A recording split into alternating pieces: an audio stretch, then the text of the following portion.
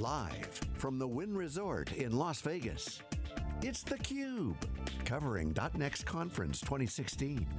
Brought to you by Nutanix. Now, here are your hosts, Dave Vellante and Stu Miniman. Welcome back to Las Vegas, everybody. This is the intro to day two. Stu and I are going to sort of set the tone, uh, give you a sense of what happened in the keynotes if you weren't able to see them. We were live streaming the keynotes, but Stu, we saw in day two, it wasn't about the product, it was about thought leadership themes, uh, it was about partnerships. Uh, we saw Microsoft up on stage. Uh, great quote, cloud is not a place, it's a model. We couldn't agree more.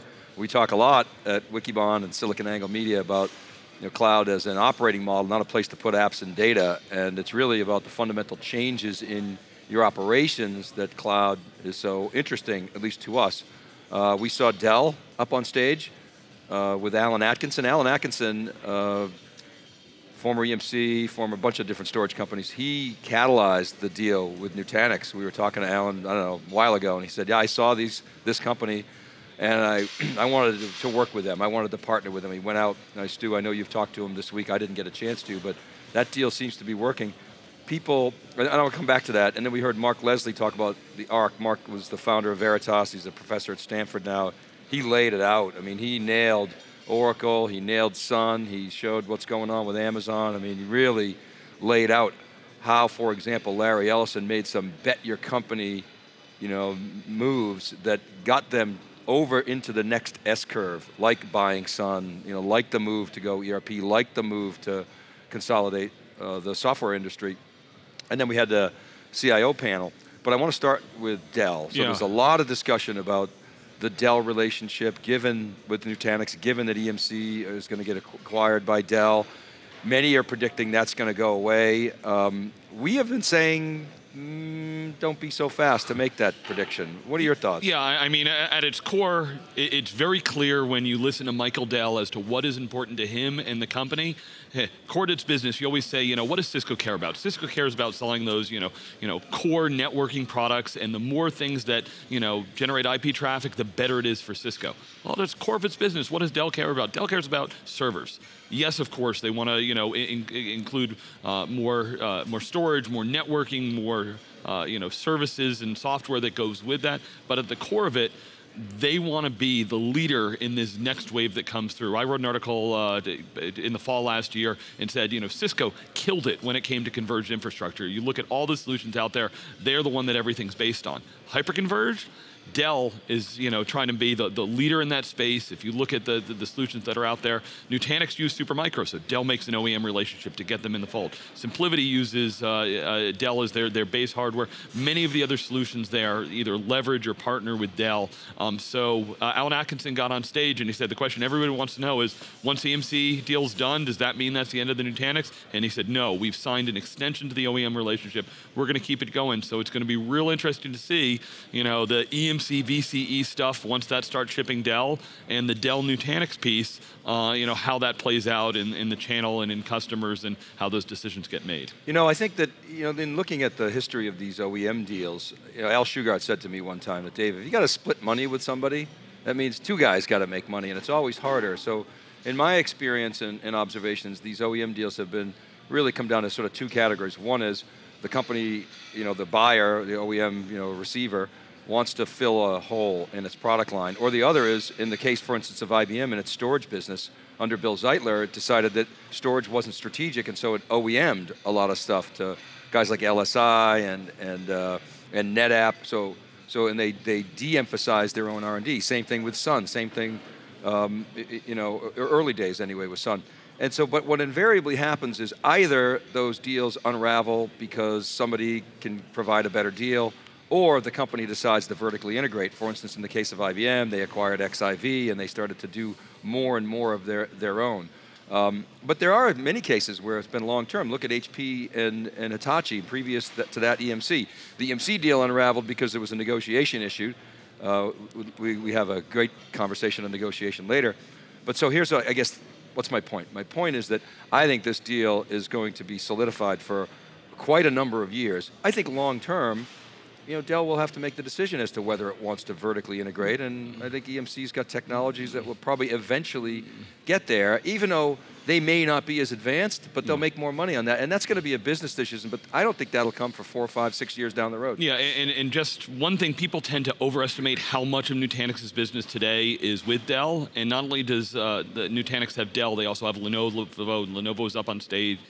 Uh, was talking about the partnership, which is brand new. Uh, we actually have some Wikibon research looking at that environment up on wikibon.com right now. Uh, but combined, Dell and Lenovo uh, you know, that's not even a third of their business today. And, you know, they're, they're not looking for it to be, you know, the majority of their business. Uh, Nutanix has, you know, many paths to market, uh, and, you know, the OEMs are a piece of that overall puzzle, so uh, it shouldn't be overstated how much, uh, you know, Nutanix is relying on that. Well, and Alan Atkinson threw out a number, he says a 10-figure uh, pipeline. So we're talking 100 plus million in, in pipeline. That, that's substantial. So that's going to take a while to, to play out. I think if, if Dell and EMC can figure out where to put that product in its portfolio, how to appropriately compensate people, how to deal with all the inevitable channel conflicts.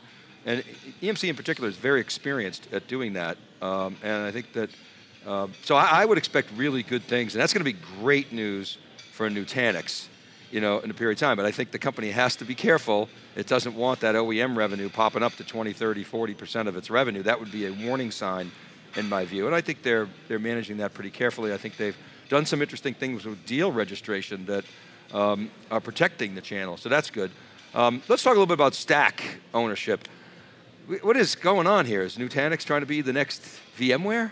Yeah, uh, they definitely, uh, last year they moved up the stack, they announced their own hypervisor. Uh, Nutanix isn't trying to be the leader in hypervisors. They're more trying to, you know, offer a platform and give customers choice. So, you know, we, you said we saw Microsoft up on stage. We're going to have them on the Cube today. Uh, the Microsoft stack, what they call Microsoft CPS, uh, that includes Hyper-V. So, you know, a, a, lot of Nutanix customers are still doing, you know, mostly VMware. Uh, we're getting, uh, you know, when it comes to the, the Acropolis hypervisor, uh, you know, it's 15, 20% of customers at least have some of that in their environment.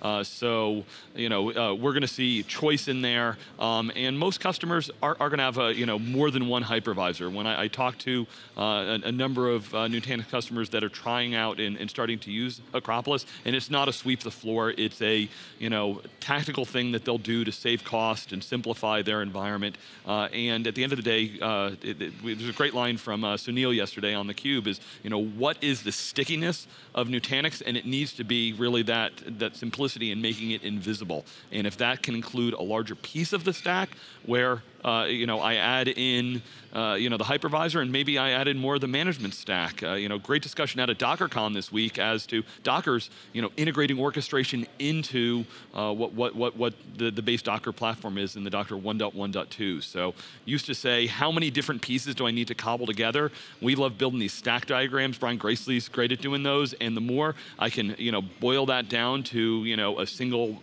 what, what, David Floyer calls a single managed entity, the easier it is. And the, the higher up the stack I go, we actually see exponential value on uh, to, to the customer because it just you know takes just so many things off of their plate to help you know uh, us focus on the business rather you know growing the business and transforming the business rather than just running the business. Well, and that's where Oracle's making its its hay and, and so-called engineered systems. So, okay, uh, real quick, Stu, uh, your take on the announcements uh, yesterday and today. Yeah, so I mean, more, more than we have time to go through right now, Dave. But uh, you know, absolutely, they're they're baking out that stack, they're maturing it, they're giving that vision as to how they uh, add in uh, not just uh, you know inspired by cloud, but really how does that hybrid cloud or what uh, the, you know Nutanix is calling the enterprise cloud message fits. Um, all of the companies that have on-premises as their primary deployment model are struggling a little bit with how do I, you know, how do I interact with the AWS, you know, Googles and, and Microsofts of the world. I'm interested to dig in more on the Microsoft piece here. Um, but, you know, good progress, uh, you know, good mix of the stuff that's available today and enough vision for what's coming down the future. So, uh, you know, good crowd and, we, you know, we've got a full day of coverage here to talk to a bunch more practitioners. All right, Stu, great analysis as usual. Thank you. Um, Let's talk about the future uh, in a minute. We've got Mark Templeton coming on. How do, how do companies stay re relevant? There's a lot of talk about consumerization of IT. What about the humanization of IT? We're going to have that conversation with Mark, former CEO of Citrix. Keep right there, everybody. This is theCUBE. We'll be right back from Las Vegas.